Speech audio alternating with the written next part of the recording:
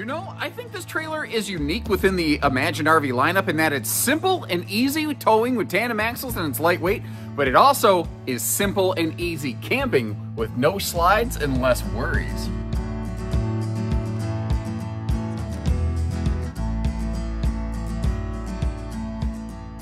Hey everybody, Josh RV Nerd of Bish's RV down here. At Grand Design once again uh, again, getting some footage of a model I don't think I've had on the channel before, the 21 BHE. Um, it's it's kind of similar to a few other layouts I've seen out there where it's a rear corner double over double bunk campsite dinette, front Murphy bed, but no slide, kind of easy breezy, beautiful camping girl. What's nice about something like this, uh, again, the simplicity, the ease, the little more peace of mind of having no slide. I'll, there are what I call slide skeptics, but I don't mean that in a derogatory fashion. There are some folks who are just like, listen, I've either had bad experiences with or I've heard bad things about slide outs. I don't want one.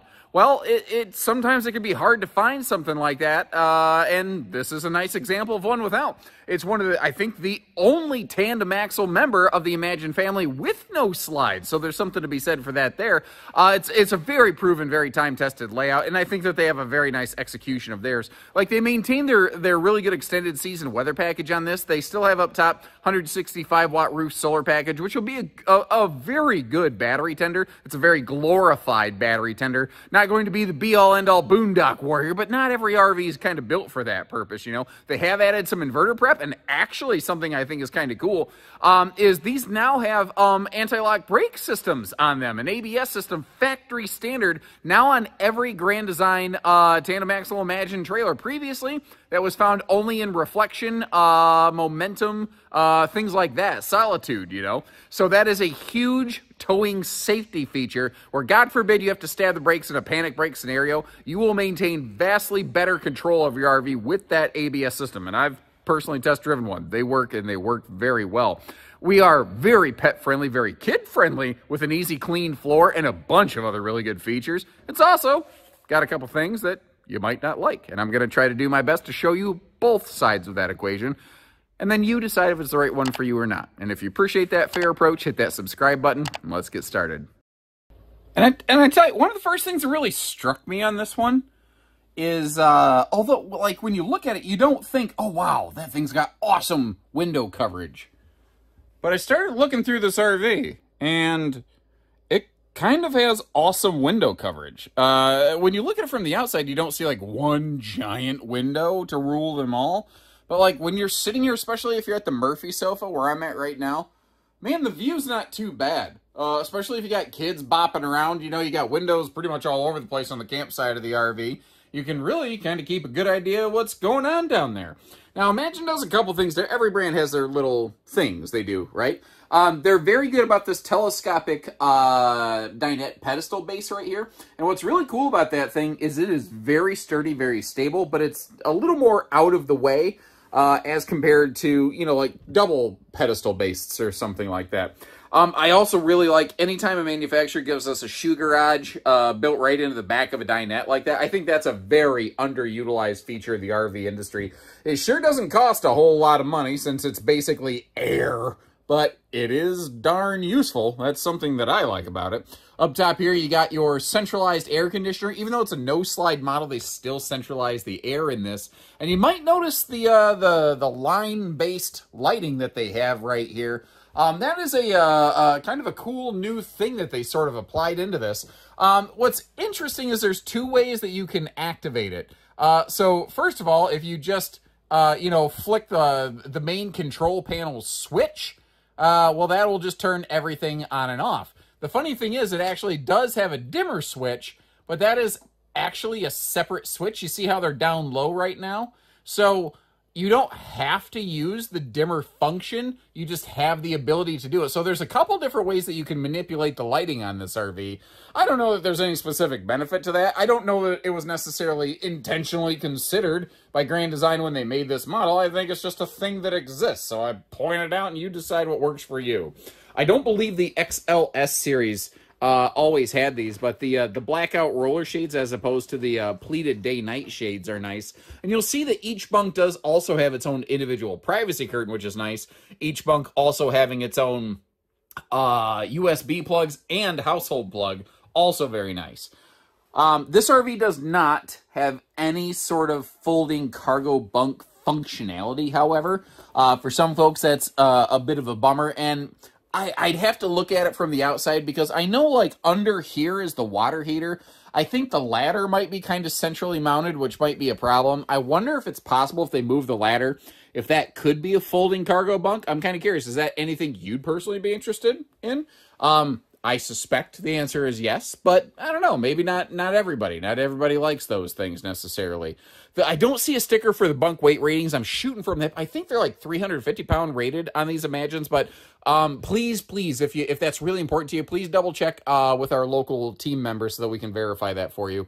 Oh well, sorry. Um, one of the fellows here was kind enough to grab me a uh, a sandwich while I was recording, and I apparently didn't get the wrapper out of here. As you can tell, I had myself a submarine sandwich for lunch, or as they call them in a submarine, just a sandwich for lunch. Um, yeah, there's that. um, the uh, the kitchen counter space is not amazing. It's it is fairly minimal uh, because they do go with a full-size stove, but they are still including an oven that a lot of manufacturers don't, and they do give us a big farm sink here. I also like how they give us a full sink cover. What's your opinion on this? I like it when a manufacturer lets me fully cover the sink. That's useful to me. I can make that do things, like I can dry dishes on it, or, or I can set groceries on it. But a lot of manufacturers will give us a sink cover that only covers half the sink because I'm sure it's five cents cheaper is that i mean do you prefer that? Is that better or is that not better? I i don't know. Speaking of not better i'll tell you if um, what you're looking for is an rv where you can sit inside and watch tv all day this ain't it. This ain't it at all. That tv can pivot but like no seat in the house really has a good view of the entertainment center. Like uh, frankly, I think your uh, your forward facing dinette bench and your top bunk, which is basically where we are right now in the video, um, those uh, are probably the best seats in the house. Uh, that being said, uh, to each their own. I, I think a no slide model like this, the goal is to get your family out and have some memories. It's not necessarily to sit inside and uh, watch TV all day. but again, each person has a, a, a different way about things, I, I do suppose. Now, this is a Murphy bed model. I'm giving you just a very quick demo here. It's a folding, what I call bendy bed. It is lightweight, it's easy to operate, but it's not like gas strut mechanically assisted. What's cool about this system, um, if you want to leave the bed up and travel down the road, you're fine. If you want to leave the bed down and travel down the road, you're also fine. And they do include a, a, surprisingly thick and heavy privacy curtain for this. Like you notice, you can't really see a lot of like light bleeding through uh, when I pull that curtain across.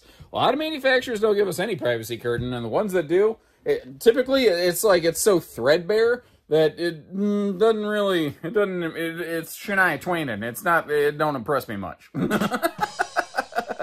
but you get the idea. The uh, dinette, again, can fold down into a sleeper if need be, and that's what's kind of cool. This RV has four separate sleepers. You have your front uh, Camp Queen bed, short queen. You've got the two double bunks, and then you can fold down the dinette if you want. So you could very easily sleep five in here, assuming one of the kids is a little bit smaller on the dinette.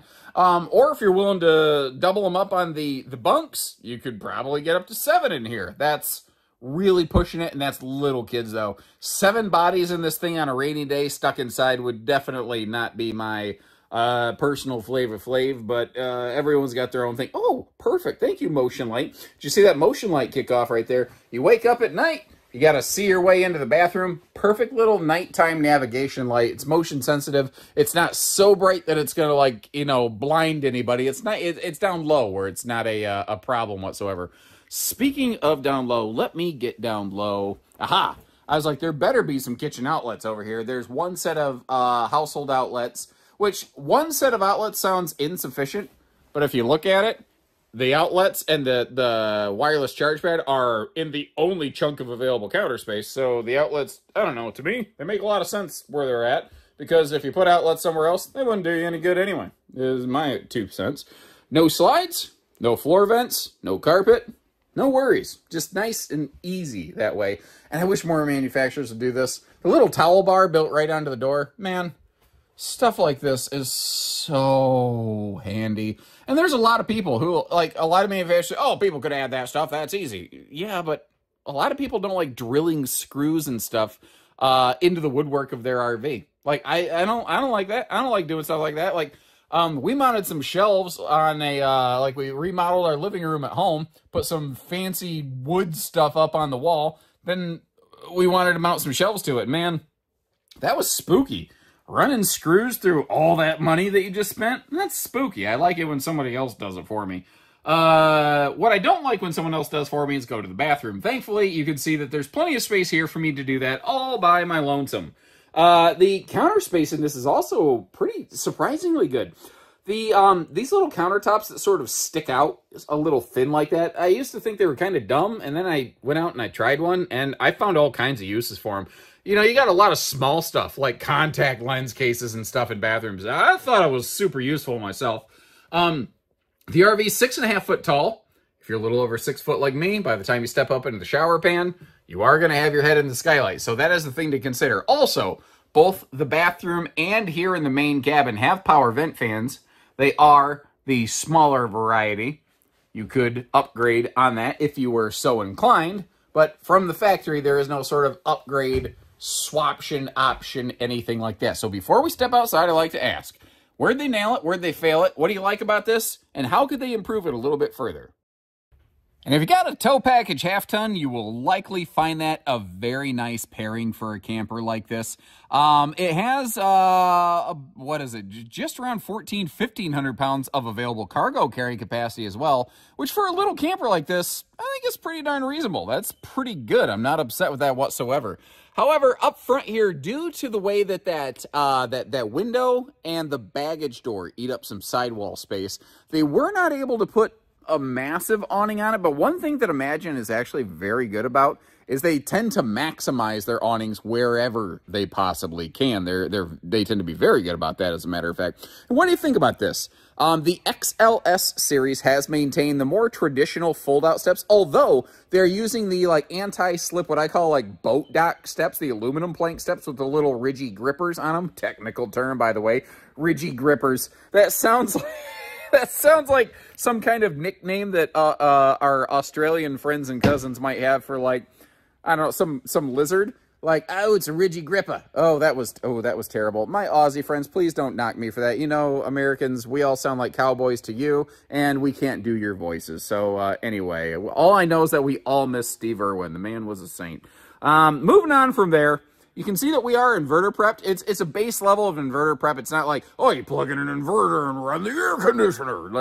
It's nothing like that. It's just something where if you want to be able to power up a couple outlets, you can do that. And because it is a Murphy bed, it does dog leg around the uh, pass-through a little bit, but there's still plenty of space here. There's also full front baggage uh, compartment lighting, and you might see a little motion sensor over here on the left coming into view on the on the left motion sensor. We're where where oh oh it's up top. I'm like where i'm yelling at the motion sensor like it's going to be like here i am. I'm an idiot. Anyway solar charge controller up here uh by the way. Um that's actually something that they have improved uh from previous years. It's now a 40 amp mppt charge controller. What that means in english if you want to expand on that a little bit you can. And an mppt charge controller is essentially more efficient than a PWM controller. That's one of those things, if you're shopping an RV, if you've never owned an RV, if you're not a solar genius, I'm not a solar genius, I'll tell you that much. I'm a solar idiot. I'm, I, I know just enough to get myself in trouble, really. But long, one of the things I have learned is there's a PWM and an MPT, MPPT charge controller. You down with MPPT? Yeah, you know me. Anyway, um, this one just works better. It's more efficient. It captures juice. The other one doesn't. Now down here, these have had Goodyear Endurance radials, but you might notice the red uh, wheel hubs inside there. That is uh, straight from the manufacturer, the chassis manufacturer, who also stand or includes their um, ABS anti-lock brake system on this floor plan. And that is something that they're doing kind of across the board because it wasn't really clear which RVs in the market had ABS and which RVs in the market did not have ABS. So they made it very visual. Now, red may not be everyone's preference, Um, I'm guessing if Grand Design had their pick, they'd probably go with some kind of blue or something like that. But red is what uh, the uh, Lippert, the ABS supplier, chose to use. But it is an awesome system. If you have to hit the brakes, uh, stop in a hurry, if you're on slippery roads or something, it does an amazing job of keeping that RV tracking behind you. ABS doesn't necessarily uh, make you stop faster. What it does is it allows you to maintain safety and control. Uh, because like if you're on a bumpy road and there's road chatter or ice, if you stab the brakes, the trailer might try to turn and like it'll try to pass you because it doesn't stop as fast as your vehicle. Well, this will basically prevent that from happening, and it works very, very well. Um, the roof ladder, I love that it's a built-on ladder, and it gets you up there to that fully walkable roof. On the back, the single axle Imagines, the AIM series, have a class 2 hitch, which is uh, only 150 pound rated. Once, once we get up here into XLS and above to full Imagine, we get the uh, uh, the full 2 inch receiver hitch, the class 3, that's got a 300 pound vertical limit on it. Um, what you won't see much of is what's going on under the belly because it is enclosed, it is forced air heated, and there is a radiant barrier layering there. Uh, that is a, uh, a very respectable extended season weather package is what they have going on. Uh, the uh, on the back side there, you've got your um, tankless on-demand water heater. So, like, especially in a bunk model like this, if you got to have a bunch of people taking showers, get ready to go the night before, everybody can do that and nobody has to deal with a chilly shower, which is something I personally really like because I'll tend to let my family go first and I almost always end up with a cold shower whenever I go camping. But hey, uh, this thing also, this is all standard, by the way. Number one question I get, it's like Family Feud. Number one answer on the board is, can I get it without a camp kitchen? It is standard. That being said, the griddle, the fridge, my stuff could be removed you know, you could probably find another use for that fridge somewhere. I know I certainly would. If you don't want the griddle, put it on Facebook Marketplace for a few bucks.